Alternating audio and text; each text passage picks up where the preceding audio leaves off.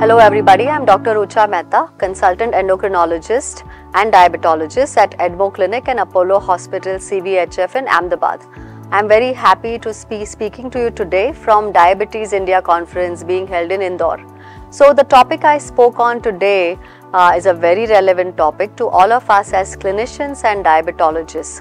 So we decided to speak about the Verify trial and its implications on how do we treat new onset type 2 diabetes. So what we mean by this is patients who have just been diagnosed with diabetes in the last 2 to 3 years when they come to see you in clinic and their initial starting HbA1c is say between 6.5 to 7.5. So the question that you know raises in our mind is most of the guidelines will say let's start them on metformin monotherapy alone.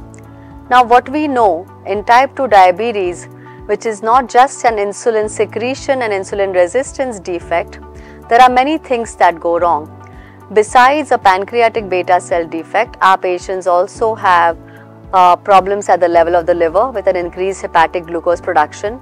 We also know that there is the fat cell that goes wrong. There is at the level of the kidney an increased glucose reabsorption. Also, most importantly, there is an incretin defect along the gut or the GLP-1 pathway. So what I plan to show in this particular presentation today and executed was metformin in combination with DPP-4 and namely vildagliptin was used in the Verify study versus metformin alone with placebo and we looked at the primary outcome as treatment failure meaning how soon did the patients need to be added a second agent. The patients were then followed for 5 years. What we found that using a combination therapy of metformin along with a DPP-4 inhibitor was much more protective and prevented the patients from going into treatment failure. Their HbA1c stayed below 7% even at the end of 5 years versus if you start them on metformin alone. So I think this has great implications on our management and we should consider putting on our patients on more than one single agent alone because number one in the long run you will provide them with sustainable glycemic control. The newer agents prevent you from having hypoglycemia. Either they are weight neutral or they can cause some weight loss.